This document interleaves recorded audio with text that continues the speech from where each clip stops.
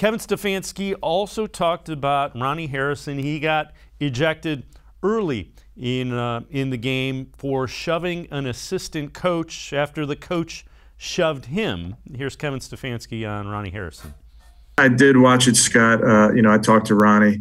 It's the oldest thing uh, in football and in sport. You know, the, the, the game officials always see the second guy, and Ronnie's got to show some poise there and not retaliate again, I can only uh, worry about my players and, and my team. Uh, but but I do think that any contact that came from Ronnie was incidental. If you watch the tape, it's pretty obvious that he's getting collisioned uh, as he's trying to get off of their boundary. So uh, does not excuse him from retaliating. You can't do that. That's uh, something we all know uh, that the game officials will see the second guy, not the first guy. And Dan, that was um, lost him early, and that's a guy that you know figures in as a safety, figures into what Joe Woods wants to do, especially against a team like the Chiefs.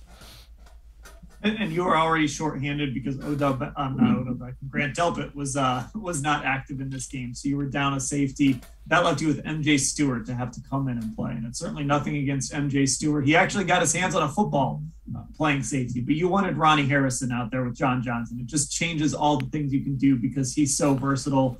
Uh, you know, I've spent a lot of time talking about how much I like him as a player, but that was just a situation where he's got to be smarter in that moment. And that's sort of been the message, I think, throughout all of this. I don't think Browns players are excusing the Chiefs coach. You know, Kevin Stefanski certainly didn't excuse Greg Lewis, but they also continuously say you've got to understand that situation and you've got to be smarter in that moment. That's, that's sort of how Myles Garrett summed it up on Sunday night as well. You've just got to be smarter and you can't hurt the team like that.